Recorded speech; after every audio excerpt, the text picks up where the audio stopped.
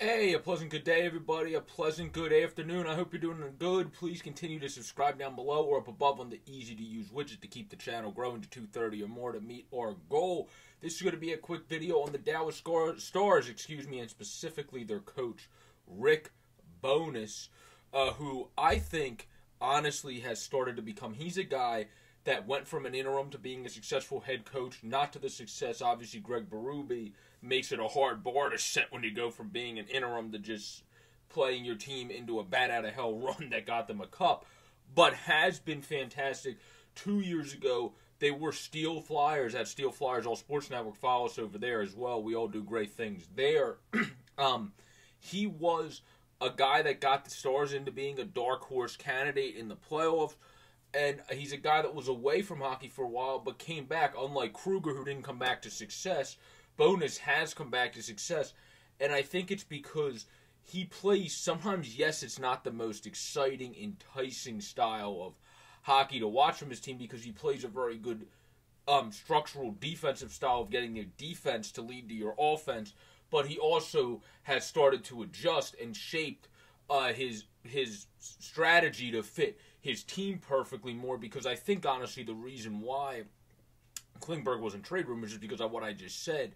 It's not like Klingberg's the most fantastic defenseman at playing in the defensive zone.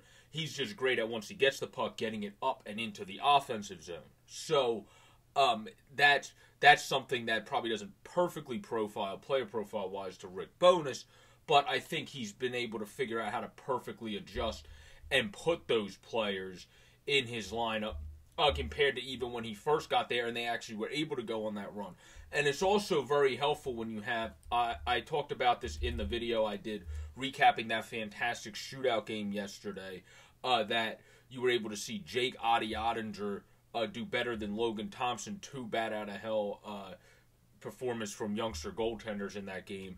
It's just you were able to get a little bit more out of Oettinger. But when it comes to this team, he's got his team pushing the offensive pace more than I've ever seen. But it's also because they're able to push that from their back defense being very good. Minus Klingberg, obviously, again, he's a minus 26. He's not good in the defensive zone. But being good at making defensive plays and pushing it forward into the offensive zone. Even the youngster Thomas Harley, I think he's going to become a guy that's good in the offensive zone, but more of a two way guy ever than Klingberg really is. Where Klingberg to me is a great offensive defenseman, obviously leaves stuff to be desired in the defensive zone, but I like him a lot just because if with a defense like Dallas, I think he does fit in fine because everybody else in that defense, especially Esa Lindell, his partner is one of the more underrated defensive defensemen, um, is very good defensively. Jani Hakanpää also played very good for them, playing about an average of 16 to 17 minutes a night.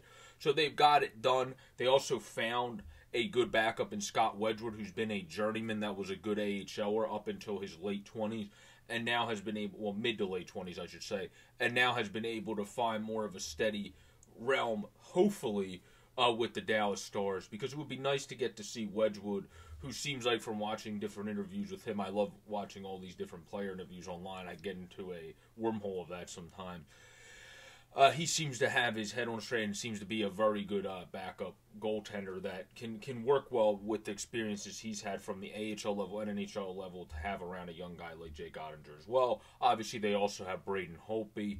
Uh, he unfortunately is injured, but is week to week, so he does have the possibility of also coming back in the postseason. Which then this season I actually enjoyed watching Braden Holtby again. Obviously, last season he was solid as well, but this season I think he was even better in moments for the Dallas Stars and kind of fit into a perfect blend uh, with Oettinger. And he was a big reason in the 24 games he played that they were able to have that good platoon. And then Wedgewood, in the handful of games he's played, was able to have the good platoon that all their goalies were kind of able to all play. The most the guy played was 47, and Oettinger was still isn't a lot in the grand scheme of things. 36. Um, total games for Wedgewood, and then 24 for Holtby, who's going to have fresh legs when he does come back. I think the Stars have the potential to be a dark horse team, and that's something I'll talk about more uh, in a video when I do a playoff preview for them once they do clinch, if they do end up clinching with their magic number being at one since the game went into overtime yesterday, which I think they will. Uh, this is an exciting team to watch. I don't know how far they're going in the playoffs, but stay tuned for that prediction. But this was just a quick video highlighting the team and just going over the team and the team that Rick Bowness is able to put on the ice and put out each night and getting the most out of them because they don't have the sexiest team that pops out eye popping guys on paper. But he's able to just figure out ways to do it and play a good defensive structure that leads to the offense because obviously Tyler Seguin also not the sexiest in the defensive zone. Roth at this point of his career isn't as quick as he used to be, Michael Raffl. so he's still very good instinctually in both zones. Just isn't as great as he was at his time with the Flyers necessarily at being able to get to everything in both zones. And then Jamie Benn isn't as quick as he used to be, so he used to be much better in both zones.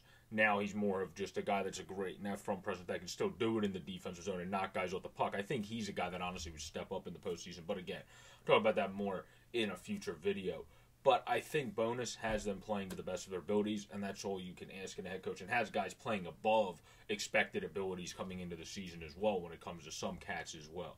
So I think all that put together, he deserves all the credit, and honestly is one of the more underrated coaches in hockey. But peace out, everybody. This has been a quick video on Rick Bowness being one of the more underrated head coaches in hockey, and he deserves all the praise uh, thrown his way from what he's been able to do with the Dallas Stars and kind of be like more like you give credit to baseball managers at times for getting the most out of rosters, like you gave credit to Bob Melvin with the A's for years for my also fellow baseball fans, or to guys like Kevin Cash or Joe Maddon for Tampa Bay, that they're able to get the most out of the roster. Well, that's exactly what he is doing here. That is exactly what Rick Bowness is doing here. But peace out, everybody. Stay safe. Please subscribe down below or up above on the easy to use widget to keep channel growing to 230 or more by the end of April. I really appreciate you guys' love and support. I'll be doing a video on the season wrap up of the Dallas Stars very soon as well. Peace out, everybody. Stay safe. Did videos on the Kraken and Sabres this four season wrap up. Um, and look ahead kind of to the future as well. Obviously, they have a couple games left, but those are only a couple games, so you can do the wrap ups at this point. Check them out if you wish. Have a great, safe, pleasant day, everybody, and enjoy the hockey.